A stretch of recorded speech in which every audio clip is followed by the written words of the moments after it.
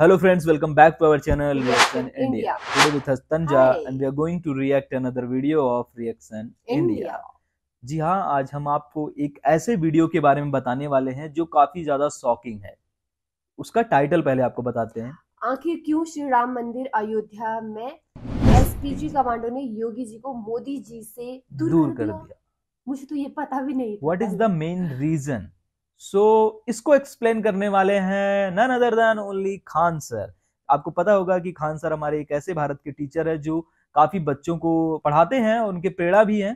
तो उनकी video start करते हैं देखते हैं कि क्या कुछ होने वाला है इस वीडियो में क्या रीजन था। So let's go to watch the video Modi ji जब पूजा करने गए थे ना उनके साथ देखिएगा कोई धोती पहन के चल रहा होगा। तो पंडित जी नहीं थे। ये योगी जी गए थे तो योगी जी को रोक दिया। था देखे होंगे अभी कुछ वीडियोस में रोक दिया होगा। ये बात बताओ जो दिन रात प्रधानमंत्री के साथ रहता है उसको प्रधानमंत्री से क्या खतरा होगा एनएसजीए में से एसपीजी में जाते हैं। हाँ हाँ। मोदी जी जब पूजा करने गए थे ना तो उनके साथ देखिएगा कोई धोती पहन के चल रहा होगा। पूरा बॉडी बिल्डर। वो पंडित जी नहीं थे। एसपीजी कमांडो कौन थे? एसपीजी समझ आ गया कि नहीं आ गया? अब पैर चप्पल वप्पल उतार के पूरा यहाँ पे एकदम मार्शल आर्ट का एकदम माहिर होगा वो कि अगर वहाँ हथियार तो मंदिर में नहीं ले जा सकते। तो पहले ही से सिक्योरिटी हो गई थी।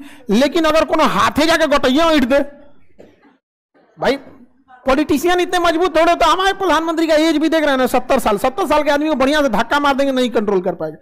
लेकिन वो बॉडी बिल्डर एकदम मार्शल आर्ट का मारेगा पेट में तो आर पार कर देगा हाथों से। ज़रूरी है हमारे देश के प्रधानमंत्री हैं। पूरे देश का प्रतिनिधि कर रहे हैं। आपका मन आप वोट दीजिए मत दीजिए आपका मतलब है। वो अलग है। समझ गया?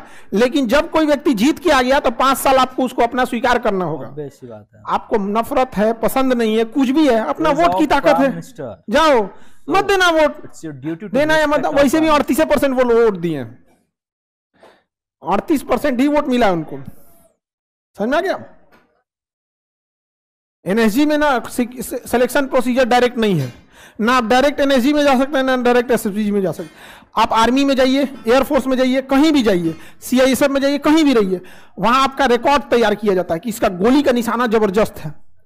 ये निशाना इसका बहुत ज़बरदस्त है तो उसमें रिकॉर्ड बनता है कि एकदम दस में से दस पॉइंट एकदम टू द पॉइंट मारता है। तो कहा जाएगा, आ जाओ एनएसजी में। समझ में आ गया?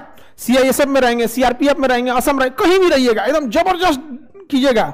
पता चला, जंगल में आप छूट गए, चार दिन बिना खैले थे लड़ उड़ के वापस आ गए, कहे, बढ़िया आदमी है एनएसजी में जाओ। सारा छाट छूट के एनएसजी और जब आप एनएसजी में आ जाएँगे, उसमें भी अगर खतरनाक रहेंगे तो आ जाओ एसपीजी में। कहाँ पे? एसपीजी किसी को नहीं सुनता। अभी प्रधानमंत्री या योगी जी गए थे तो योगी जी को रोक दिया था। आप देखे होंगे अभी कुछ वीडियोस में रोक दिया होगा कि रुक जाइए यहाँ पर, यहाँ। समझ आ गया कि नहीं आ गया यहाँ पे? तो उन्होंने कहा, ये लोग किसी को कुछ नहीं समझता है, सर। गवर्नर को रोक दिया अभी सबसे प्रभावशाली मुख्यमंत्री में योगी आदित्यनाथ है। मेन सारी समझ में आ गया कि नहीं आ गया? उनको इशारा कर दिया यहाँ पे डिस्टेंस रोका नहीं डिस्टेंस का। प्रोटोकॉल होता है ना कि प्राइम मिनिस्टर से कितने मीटर के डिस्टेंस पे किसको रहना है? लिस्ट आ जाता है कि इनके साथ सीएम रहेंगे। तो सीएम में भी रहेगा कि कितने डिस्टेंस रहना चाहिए। अब वहाँ प्रोटोकॉल में लिखा होगा कि भैया दस मीटर का डिस्टेंस रहना चाहिए यहाँ पे। तो उन्होंने कहा कि सर डिस्टेंस मेंटेन करके रखना है। समझ में आ गया कि इनको कोई कुछ नहीं समझते। कौन चीज़ समझोगे? अच्छा ये बात बताओ। जो दिन रात प्रधानमंत्री के साथ रहता है उसको कोनो अधिकारी धमकिया देगा?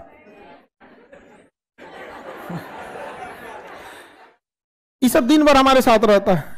ये जितना हम लोग के स्टाफ लोग हैं। आपको क्या लगता है पटना में कोई लोग को धमकिया देगा हम चुप रह जाएँगे? हाँ?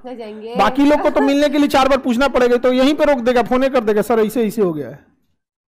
छोड़ देंगे हम।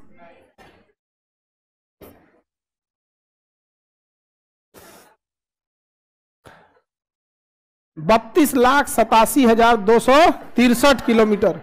स्क्वायर भारत का क्षेत्रफल है। मतलब नहीं समझे? चाहे जहाँ भी रहिएगा।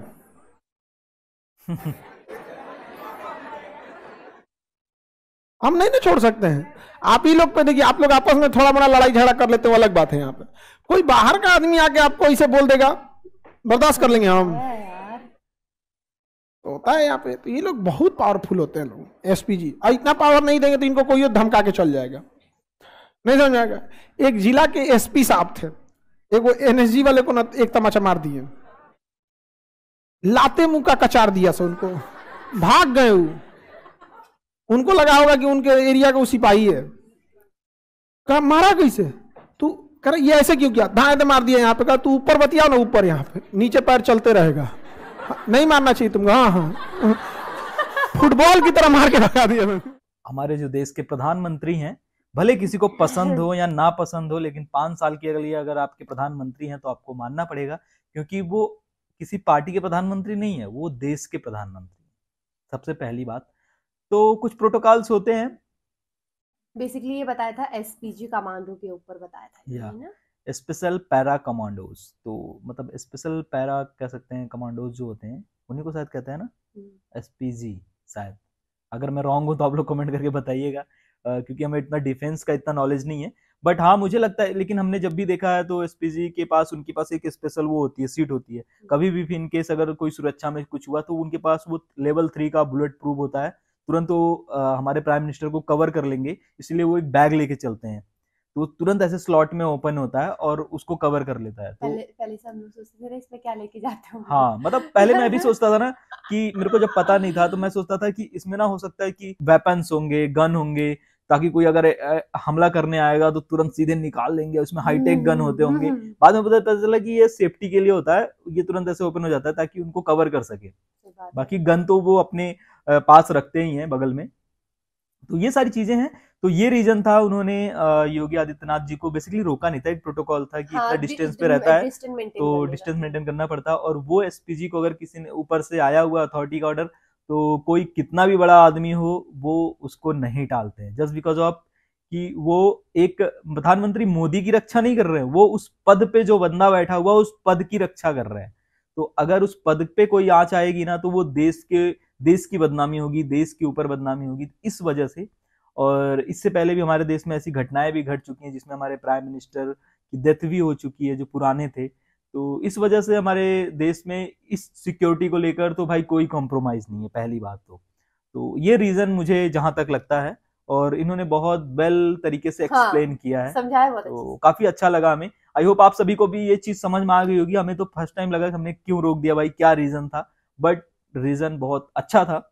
तो रीजन सिर्फ़ इतना ही था डिस्टेंस मेंटेन करने का डिस्टेंस मेंटेन करना और मतलब काफ़ी सारी रोका भी नहीं था वो थोड़ा सा बस प्रोटोकॉल्स होते हैं। तो उन्होंने बेसिकली उनका मेन मोटिव था एनएसजी और एसपीजी के बारे में डिफरेंस बता रहे थे कि लोग कौन से लोग होते हैं जो भर्ती होते हैं है ना?